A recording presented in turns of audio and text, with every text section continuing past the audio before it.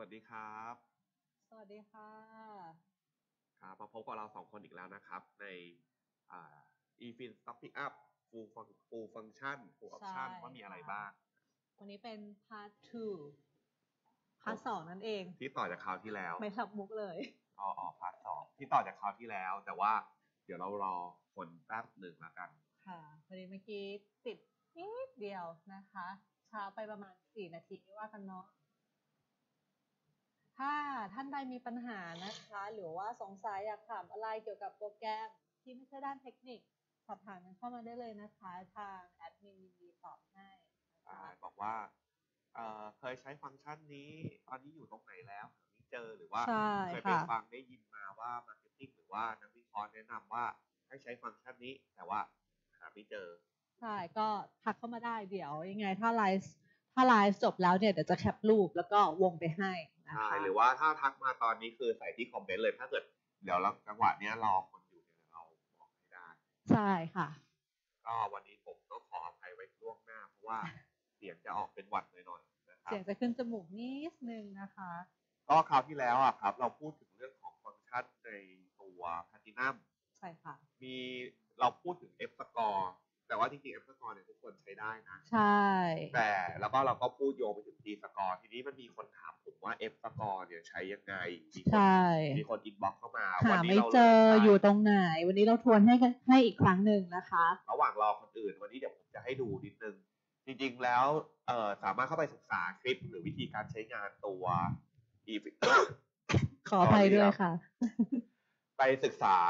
คลิปหรือวิธีใช้งาน eFin Stock Pickup ได้ที่เอ่อ eFin School Page นะครับ โดยเสิร์ชตรงเนี้ยว่า eFin School นะครับ เสร็จแล้วเข้ามาที่วิดีโอ ค่ะ คุณก็จะเจอ all วิดีโอของเราเนี่ย เอ่อ จริงๆ แล้วถ้าเกิด F score ก็คือเรามีวิดีโอไว้แล้วเนี่ย เวลาหนึ่งนาทีเอง ใช้เวลาดูแค่58วินาที วินาที คุณก็จะรู้เรื่อง F score อย่างทั้งหมดเลยทั้งหมดเลยนะคะแล้วก็ยังมีฟังก์ชันอื่นๆ เนาะเผื่อเผื่อใคร สนใจนะครับ ใช่ แล้วก็พวก indicator วิธีการใช้งานอ่าความเป็นมาเป็นไปของ indicator ตัวนั้นๆ เนี่ยนักลงทุนสามารถเข้ามาดูได้ที่เพจของทาง eFin School เช่นเดียวกันนะคะ น้องทำ up ขึ้นให้อ่าทุกสัปดาห์เลยนะคะ ก็จะมี indicator วนไปเรื่อยๆนะคะใช่แล้วเดี๋ยวคลิปต่อๆไปที่เรากำลังจะทำนำเสนอเนี่ยก็จะเป็นฟังก์ชันในตัวแพ t ตินัมทั้งหมด ใช่ค่ะ คือใครเนี่ยกังวลว่าซื้อแพ t ตินัมไปแล้วหรือว่า เอ่อขอ user ทดสอบแพ t ตินัมแต่ว่าตัวเองเนี่ยใช้ไม่เป็น ใช่ค่ะ อีกหน่อยจะไม่ต้องไม่ต้องกลัวเออแล้วเราจะเริ่มทำตั้งแต่รู้สึกจะเป็นเดือนหน้าเนาะใช่ค่ะกำลังทยอยทำให้แพ t ตินัมเนี่ยออกมาเรื่อยๆนะครับ ไม่มีเสียง เออได้ยินเสียงเราชัดกันไหมเอ่ยเสียงเบาไปนิดนะครับเพิ่มเพิ่มเสียงให้ละค่ะโอเคโอเคมาอะเดี๋ยวเราไปต่อกันที่แพทตินัมพาร์ทสองกันดีกว่าเสียงชัดไหมครับ อ่า โอเค โอเค มีคนยกนิ้วละ ไปค่ะ เดี๋ยวเอ่อเข้าไปดูกันในตัวโปรแกรม eFin Stock Pickup ที่ใช้กันบน PC ก่อนนะคะ ครับ ค่ะ เดี๋ยวเราจะไปดูในส่วนของตัว F score อ่า เราทวนนิดนึง F score ที่ผมพูดไปเมื่อกี้ เข้าไปที่ fundamental อ่าค่ะสร็จเลือกที่ไป analysis ครับ นะคะ แล้วก็เลือกที่ F score G score analysis นะคะ กดตัวนี้ขึ้นมาได้เลย มันก็จะขึ้นมาเป็นบล็อกเล็ก ๆ แบบนี้นะคะทีนี้เนี่ยตรงนี้มันจะโชว์ว่าตอนนี้เราใช้งาน F score อยู่ค่ะ F score อย่างที่บอกครับ จะมีทั้งหมดอ่าเก้าหัวข้อเก้าหัวข้อคะแนนเต็มคือเก้าใช่ค่ะ A บวกคือสูงสุดนะใช่ครับแล้วก็ลดหลั่นลงมา คะแนนที่ดีที่สุด คะแนนที่ดีที่เกินเกินมาตรฐานคือห้าห้านะครับ แล้วส่วนวิธีการใช้อย่าลืมไปดูได้ที่นี่ครับ Facebook Facebook eFit School หัวข้อวิดีโอ จะมีชื่อว่า F F score analysis อย่าลืมนะคะ58วินาทีเท่านั้นคุณจะเข้าใจฟังก์ชันนี้ทันที ถูกต้องฟังก์ชันนี้ใช้ได้ฟรีทุกโบรกเกอร์นะครับ เป็นฟังก์ชันที่เรา offer ให้ใช้ในการเลือกหุ้นดีมาก คือเวลา concept ของมันก็คือว่าเวลาคุณอยากเลือกหุ้นอะไร แล้วคุณไม่รู้เนี่ย ว่าคุณจะลงทุนในหุ้นตัวเนี้ยดีไหมใช่ค่ะแล้วคุณดูงบการเงินไม่เป็น ใช่อ่านไม่เป็นเลยอะ หรือบอ่านงบการเงิการเงิมันนไม่เป็นเลยไม่เคยเรียนยากเลยอะหรือ หรือบางคนเนี่ยเคยเรียนบัญชี หรือเคยเรียนบริหารมาจะได้เรียนเรื่องงบการเงินเนี่ยมาสองตัวค่ะเป็นอะไรที่งงมาก คือบอกเลย เวลาไปการข้อสอบอะอ่านงบเนี่ยแบบแทบจะส่งกระดาษเปล่าอย่างเงี้ยใช่ค่ะ ผมไม่ดูครับงบ ผมดู F score เอา อันนี้เราเป็นแบบ shortcut มาให้นะคะ แต่ว่าถ้าท่านใดสะดวกดูงบก็คือไปดูงบได้ตามปกติใช่ ในโปรแกรมเราก็มี support ให้เช่นเดียวกัน อยากบอกว่าเราอยากเล่น EA เราก็มา search งบเออ EA งบดีก็คือได้แปดแต่ไม่ใช่หมายความว่า ซื้อแล้วคุณจะได้กำไรนะ มันแค่บอกคุณว่าหุ้นตัวเนี้ยงบการเงินแข็งแรง ใช่ค่ะงบการเงินแข็งแรงของหุ้นหมายความว่าไงหมายความว่า เวลาหุ้นตัวเนี้ยเซ็ตลงหนักๆหุ้นจะลงไม่หนักคือไม่ใช่ไม่ใช่หมายความว่ามันจะไม่ลงนะครับ มันจะมันลงแต่ขึ้นลงเราคอนโทรลไม่ได้อ่าแต่มันจะ เขาเรียกว่ามีความแข็งแรงของธุรกิจ มีความน่าเชื่อถือธุรกิจเนี่ยธุรกิจเนี่ยได้สวยดีธุรกิจกำลังนะคะดีใช่แล้วมันมีหุ้นอะไรตอนนี้ที่แบบว่ามีประเด็นที่แบบดูบิวตี้ไหมคะอ่าบิวตี้ beauty อ่าอย่างบิเงี้ยก็เป็นช่วงที่ขึ้นมานานๆ แล้วช่วงนี้ก็ก็ drop ลงมานิดนึงแต่ว่าถ้าเราไปดูงบการเงินของเขาก็คือยังถือว่าธุรกิจตัวเนี้ยงบการเงินยังดีอยู่นะครับใช่คือไตรมาสล่าสุดนะ ยังไม่รู้ว่าไตรมาสนี้เป็นยังไง ใช่ค่ะอ่าเนาะ ก็ในส่วนตรงนี้เนี่ยมันจะเขียนว่า remarkด้านล่างไว้ให้ด้วยนะคะ ว่าเป็นงบของล่าตอนสุดไหน คือเดือนสามเดือนสามปีนี้ ก็คือไตรมาสล่าสุด ใช่คือคือเดือนสี่เดือนห้าเนี่ยงบงบยังอย่างไม่อออย่างกต้องรอต้องรออีกไตรมาสหนึ่งใช่นะคะ ซึ่งอันนี้นักลงทุนสามารถดูดีเทลคร่าวๆได้เลย เรามีดีเทลที่มันเป็นภาษาไทย เขียนกำกับเอาไว้ว่าอีหัวข้อพวกนี้มันคือผ่านหัวข้ออะไรมาบ้างนะคะ เป็นช็อตคัดแบบสั้นทีนี้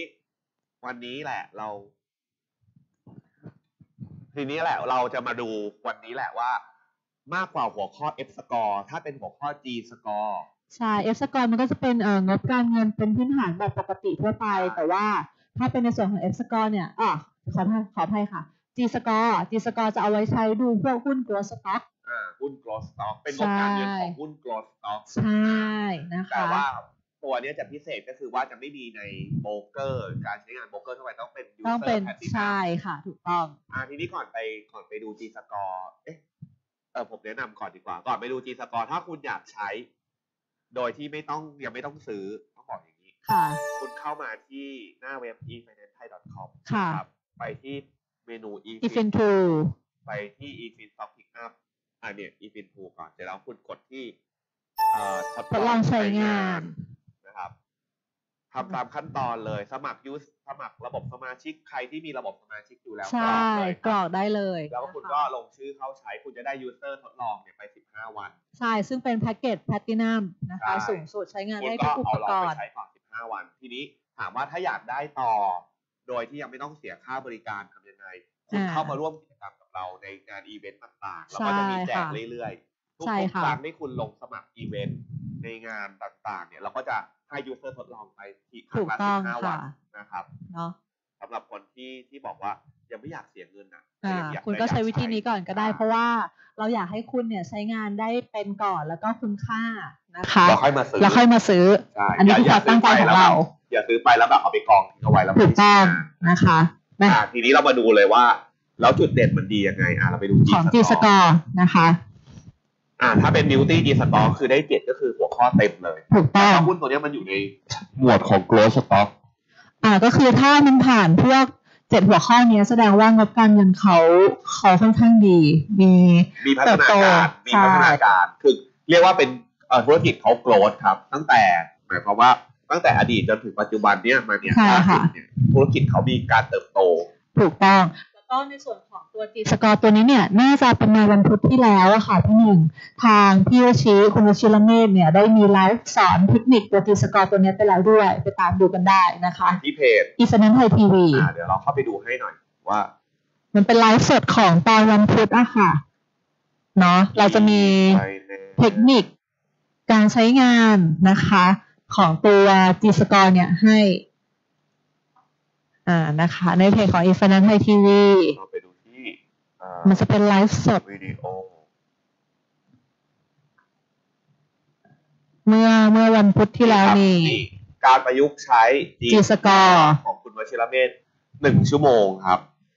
เนาะก็เรียนรู้กันได้ก็คือจริงๆแล้วคุณวชิรเมธไม่ได้สอนแค่เฉพาะวิธีการใช้ฟังก์ชันนะค่ะถ้าเราตามดูจริง ๆอะพี่เมธเนี่ยจะสอนถึงวิธีการประยุกต์ใช้ด้วยถูกต้องแล้วก็ค่ะการวิเคราะห์เบื้องต้น ผมว่ามันเป็นประโยชน์มากคือถ้าเกิดสมมติ ใครใครตอนเนี้ย list รายชื่อหุ้นเลยที่อยากอยากตรวจสอบอะแล้วคุณมาขอออถ่ายเอา user สิบห้าวัน ใช่แล้วดูคุณคลิปที่ไม่ถูได้กเสร็จต้องคุณวิเคราะห์ได้เลย คุณไม่ต้องแบบอ่านงบการเงินเป็นอะถูกต้องค่ะทีนี้อะมากลับมาที่โปรแกรมอ่า นะคะ ก็อันนี้เป็นช่องทางแรกที่เราให้ดูนะคะของ G Score ก็คือพิมพ์ชื่อหุ้นแล้วก็มันจะออกมาเป็นเกรดมาให้ดูเลยนะคะ ว่าผ่านเต็ที่มเท่าไหร่เจ็ดนะครับถูกต้องแต่ที่ผ่านควรจะเป็นสี่ ใช่ค่ะผ่านสี่ขึ้นไปก็จะอยู่ในเกรดที่ถือว่าดีโกรธครับค่ะต่อโอเคอ่าทีนี้เราได้แปลงที่สกอร์เนี่ยใครไม่ชอบดูแบบนี้สามารถดูอีกแบบหนึ่งได้ค่ะ ไปที่หน้ากราฟเลยครับอ่าแล้วก็เลือกที่ปุ่มบวกค่ะนะคะ แล้วก็เลือก add indicator to new panel แล้วก็เลือกที่หมวด fundamental นะคะ แล้วก็เลือกที่ G score F score นี่ บางคนอะบอกว่าอ่าแต่ว่าอันเนี้ยมันควรจะปรับพีเรียดนะครับให้เป็นดูลายไตรมาสดูเป็นไตรมาสถูกต้องค่ะเออรายไตรมาสเราจะเห็น curve ที่มันชัดเจนมากที่สุด เนี่ยครับ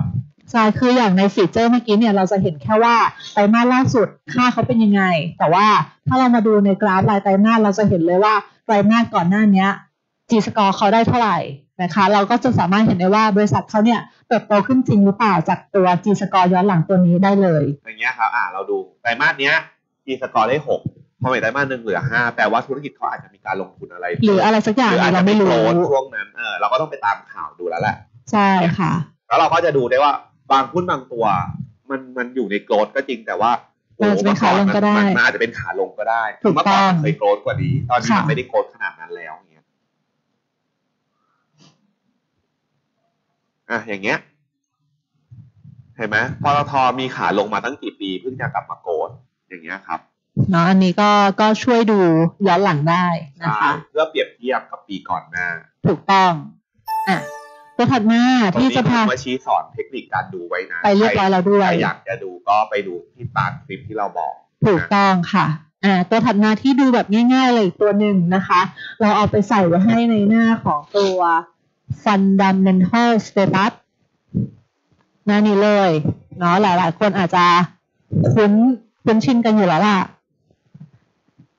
ปึ้งนะคะ พอเราใส่เข้าไปปุ๊บนะคะ มันก็จะมีค่า T score เนี่ยขึ้นมาให้ว่า T score ตัวเนี้ยผ่านอยู่ที่เท่าไหร่นะคะ อย่างของ EA ก็คือผ่านที่ 5 แล้วก็ลำดับของเขาก็อยู่ที่ 123 จาก 598 ตัว ก็คือนี่มัน compare bit set ไงใช่ประเด็นค่ะ คือนี่ เดี๋ยวหน้าเนี้ยสอนเทคนิคการดูนิดนึงก่อน มันสามารถเอ่อกรอกชื่อหุ้นแล้ว compare ได้ compare ในเอ่อส่วนใหญ่จะให้ compare ใน industry หรือ sector ก็ industry ก็คือจะเป็นธุรกิจเดียวกันประเภทเดียวกัน แต่ว่าจริงๆใน sector ก็พอเอ่อในในใน fundamental status เนี่ยครับมันจะมีทั้งหมด 3 ตัวนะ ถ้าเห็นก็สามคือหัวข้อค่ะเรียกว่าใครเคยเล่นเกมออนไลน์ก็คือโจมตี ใช่ค่ะ ป้องกัน แล้วก็การทำกำไร growth ถูกต้องค่ะ อย่าง EA เนี่ย ถ้าเทียบกันใน sector แล้วพลังโจมตีถือว่าสูง หมายความว่าไงหุ้นตัวนี้มีการเติบโต ถูกไหมครับ ค่ะ คือคือเหมือนเหมือนเนี่ยเรียกว่า new growth net profit growth เนี่ย dividend yield อาจจะยังให้น้อยอยู่นะคใช่ รับ เพราะเพิ่งเข้ามาไม่นาน ใช่ แต่ว่า revenue กับ net profit ของหุ้นตัวเนี้ยคือดีมากใช่ถูไหม ก็คือกำไรดี รายได้ดีใช่ นะคะ ส่วนพลังป้องกันเรามาดูพลังป้องกันเนี่ย ROE return on asset สี่ปีสี่ควอเตอร์ quarter ถือว่าดีนะครับใช่แล้วก็ค่ะ net profit margin เนี่ยถือว่าดี หมายความว่าไง หมายความว่าหุ้นตัวเนี้ย เวลาคุณลงทุนไปอะเอ่อเวลาเซ็ตลงนะครับ หมายความว่าหุ้นตัวเนี้ยจะลงน้อยเพราะอะไรเพราะว่าเขามีพลังป้องกันที่แข็งแกร่งถูกต้องนะคะคือเขาไม่ใช่ไม่ลงครับลงแต่จะลงน้อยที่เรามาดู price return ปีเวลาถ้าคุณลงทุนไปเมื่อสามปีที่แล้วะผลตอบแทนคุณจะได้ผลตอบแทนเยอะมากใช่หุ้นตัวเนี้ยเราลองดูหุ้นใหญ่ ๆ ที่ที่ที่อย่างเงี้ยนะเห็นไหมพีดีทีเนี่ยเป็นหุ้นใหญ่ที่ใครก็รู้อยู่ละก็พลังโจมตีก็ขึ้นไม่ไม่ถือไม่ถือว่าไม่สูงมากก็ละตามเพฤราะว่าดูกาลตามฤดูกาลแต่ว่าพลังป้องกันสูงมาก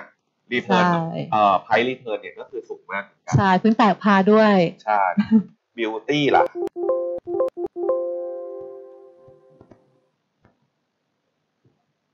อย่างเงี้ยเห็นไหมดูบิวตี้สิ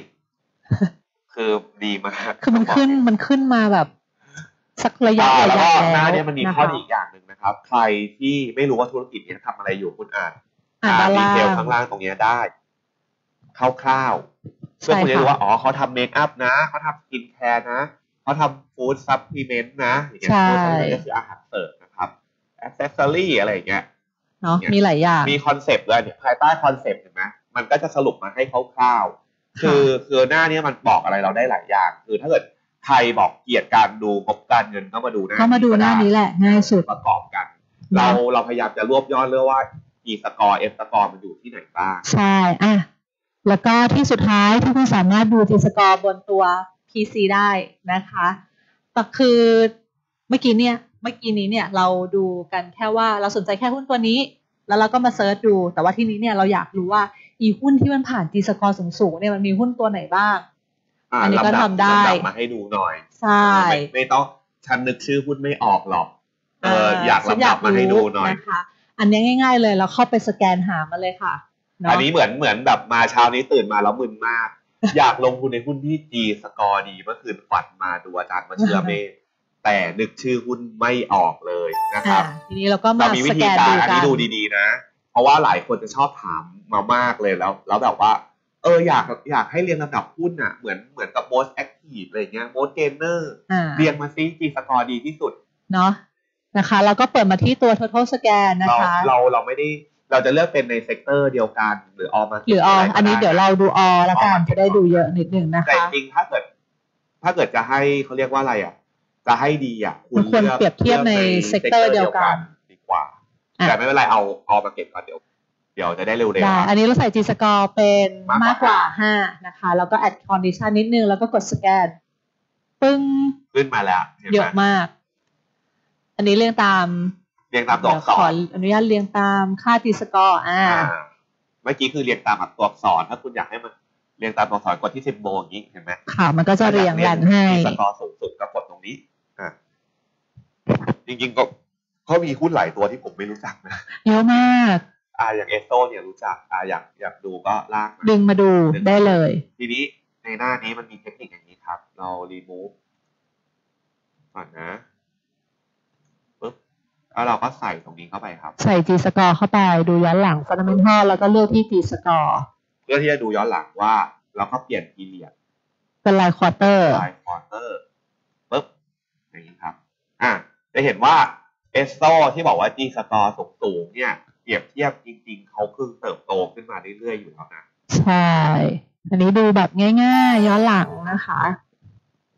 แล้วก็มีอะไรอีกอะเออจริง ๆ ก็ไม่ค่อยรู้ชื่อหุ้นเลยครับเพราะไม่ค่อยได้เล่นหุ้นเราใช่ เพราะว่าตัวฟีเจอร์อ่า Beauty อ่าฟีเจอร์สแกนเนี่ยเราก็ทำมาเพื่อให้อ่า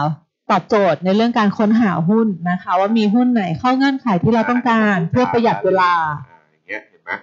ก็คือก็ดูอะว่าจริง ๆ แล้วราคาหุ้นเขาลง แต่ว่า G score เขาเติบโตนะธุรกิจเขาดีอยู่นะ อย่างเงี้ย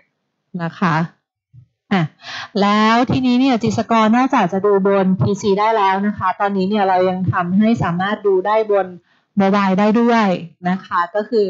นักลงทุนสามารถเข้าไปที่เอ่อตัวแอปพลิเคชันที่ชื่อว่า eFin Mobile อะหยิบมือถือขึ้นมาเลยครับ กดไปนะคะที่ eFin Mobile กดไปที่ App Store Play Store Search eFin วัดแล้วก็ Mobile โมบายนะคะคุณกดดาวน์โหลดปุ๊บ พอคุณเข้าไปเนี่ย คุณก็ใช้ username กับ password ของโบรกเกอร์แหละล็อกอินหรือว่าถ้าเกิดสมมติคุณมี user trial อยู่แล้วใช่คุณก็ใช้ user ใช้ trial user นั้นได้เลยที่เราให้เนี่ยล็อกอินเข้าไปค่ะเสร็จแล้วคุณเข้าไปที่เมนูนะครับเมนูมันจะอยู่ด้านซ้ายมือนะคะ มันจะเขียนว่า F Score G Score มันอยู่ใน Analysis หมวด fundamental กดถูกไปเลต้ยอง F score G score แล้วคุณใส่ชื่อหุ้น ใช่ หน้าตาจะเหมือนกับใช้งานในนี้เลยบนอย่างงี้ย PC ครับเลยดี๋วผมเปิดให้ดูเอ่อปุ๊บมันจะถูกแบ่งเป็นบล็อกอย่างนี้เลยครับแล้วอธิบาย ถูกต้องค่ะ คือทีเนี้ยไม่ว่าคุณอยู่ที่ไหนคุณไปฟังนักวิเคราะห์อยู่ นักวิเคราะห์แนะนำหุ้นตัวนี้คุณอยากรู้ว่า อยากเช็คอยากเช็ค เออหุ้นตัวเนี้ยพื้นฐานดีไหม คุณก็กดเช็คได้เลย ถูกแต่ต้องคำค่ะว่าพื้นฐานดีไม่ใช่หมายความว่า จังหวะที่คุณซื้ออะคุณจะได้กำไรนะ อันนี้เราต้องแยก ต้องแยคือกเราต้องแยกออกนะคะมาเป็นสี่หมวดนะครับ การเล่นหุ้นอะ ค้นหาหุ้นที่ดีก่อนนะครับ ค่ะ แล้วคุณซื้อให้ถูกเวลา ค่ะ คือหุ้นตัวนั้นอะตอนนี้มันดี แต่มันอาจจะไม่ใช่เวลาที่คุณควรซื้อถูกไหมใช่เสร็จแล้วคุณะก็ต้องขายให้ถูกเวลาด้วย เรื่องขายนี่เนาะยากนิดนึง ใช่ เสร็จแล้วซื้อถูกเวลาไม่พอขายถูกเวลาไม่ด้วยไม่พอค่ะคุณต้องมีสัดส่วนการบริหารเงินที่ดีด้วย ถถูกต้องค่ะ เช่นเคยได้ยินไหมครับว่านักวิเคราะห์ส่วนใหญ่หรือว่าคนที่เล่นหุ้นเก่งๆส่วนใหญ่เขาจะบอกว่า คุณไม่ควรซื้อหุ้นไม้เดียวอ่าเคยค่ะอ่าเคยได้ยินอยู่ คือคุณควรซอยการแบ่งการซื้อหุ้นเป็นหลายๆไม้ เรามีคอร์สสอนนะ ชื่อคอร์สอ่าสัดส่วนของเงินรู้สึกสัดส่วนที่พอดีสัดส่วนที่พอดีกับ Money ใช่ Management กับ Money Management เนี่ยอะโดยอาจารย์วชิรเมธอาจารย์จะสอนเลยว่า แบบควรแบ่งสัดส่วนของเงินยังไงไหนดู detail คอร์สนิดนึง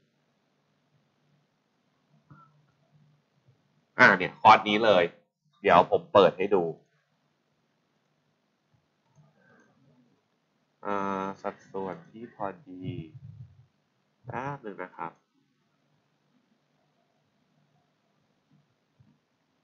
นี่ข้อนี้เรามาอ่านดีเทลดูก่อนก็ได้ ก็คือ อาจารย์วชิรเมธจะบอกอยู่แล้วว่า การแบ่งสัดส่วนที่พอดีมันทำให้ควบคุมความเสียหายได้ยังไงใช่แล้วมันทำค่ะกำไรให้เราได้ได้ยังไงใช่คือการซื้อหุ้นหลาย ๆ ไม้มันดีกว่าไม้เดียวยังไงใช่อันแล้วการแบ่งสรรปันส่วนเงินลงทุนอะออกมาเป็นเอ่อ หลาย ๆ แบบอะมันกระจายความเสี่ยงได้ยังไงนี่มันมีเคล็ดลับอยู่ในคอร์สนี้แหละถูกแล้วคุณต้องจะได้แบบว่าเวิร์กช็อปด้วยจะได้เข้าใจนะครับเนี่ยแหละมันประกอบด้วยสี่ส่วนใหญ่ๆเลือกหุ้นดีก่อนเนาะซื้อให้ถูกเวลาขายให้ใส่ทุกเวลา แล้วก็บริหารเงินถูกต้องอะวันนี้นะคะ ถ้านักลงทุนท่านใดมีคำถามหรือสงสัยอยากถามเพิ่มเติมก็พิมพ์มาทิ้งไว้ในคอมเมนต์ได้เลยนะคะเดี๋ยวแอดมินจะเข้ามาตอบให้